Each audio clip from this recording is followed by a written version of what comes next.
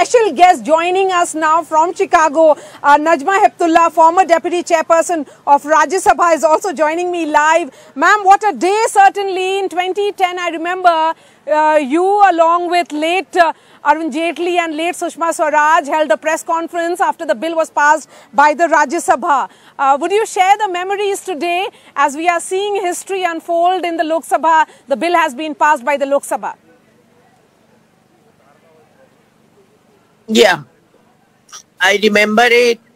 And I also remember when the first bill at the panchayat level reservation was uh, defeated by one vote at midnight. Um, I went home and cried. I was very sad that uh, one million women were getting empowered and uh, just irresponsible opposition at that time defeated.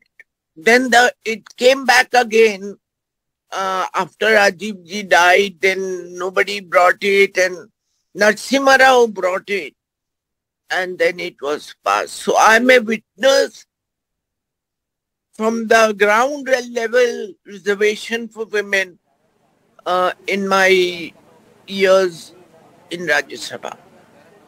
Yes, ma'am. Uh, the bill remained in the cold storage for three decades. Uh, do you think India of today, that is of 2023, is best placed to ensure that women get their due, which is 33% reservation, that important political representation that we keep talking about? It had to be passed.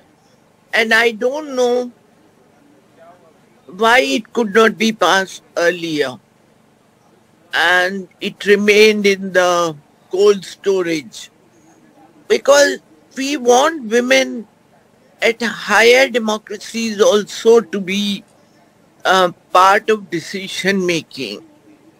In fact, um,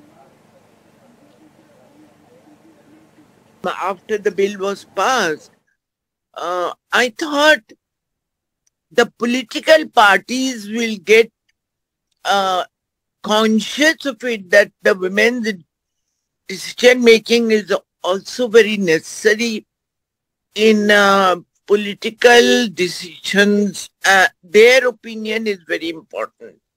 But they didn't do anything for all these years. I'm happy that uh, Modi ji brought it, and I hope that uh, once these women are uh, elected because I used to be very depressed seeing very few women uh, in the Rajya Sabha and the Lok Sabha.